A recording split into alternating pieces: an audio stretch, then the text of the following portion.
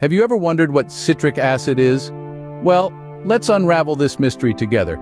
Citric acid is a weak organic acid with an intriguing molecular composition.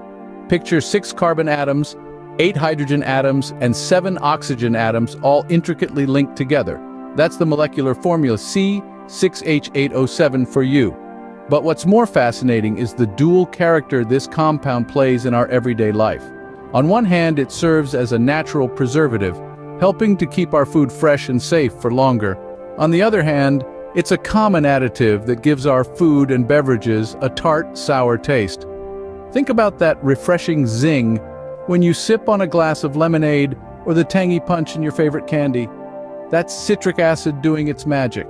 So in essence, citric acid is a naturally occurring compound with a broad range of uses and benefits. But where do we find this versatile compound? One might ask.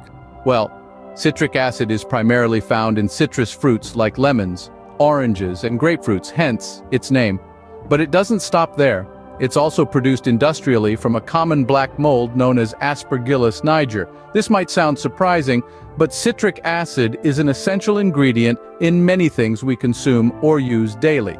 It's added to food and beverages to enhance flavor and preserve freshness. You'll find it in your fizzy drinks, candies, and even in some baked goods. But its use extends beyond the culinary world. Citric acid is found in cleaning products due to its ability to break down hard water stains and soap scum. It's also an active ingredient in many cosmetics and pharmaceuticals where it serves as a pH balancer and skin exfoliator. Indeed, citric acid is an omnipresent element in our daily lives, from the food we eat to the products we use. Now let's summarize what we've learned about citric acid. This seemingly ordinary compound is a weak organic acid, predominantly found in citrus fruits like lemons, oranges, and grapefruits.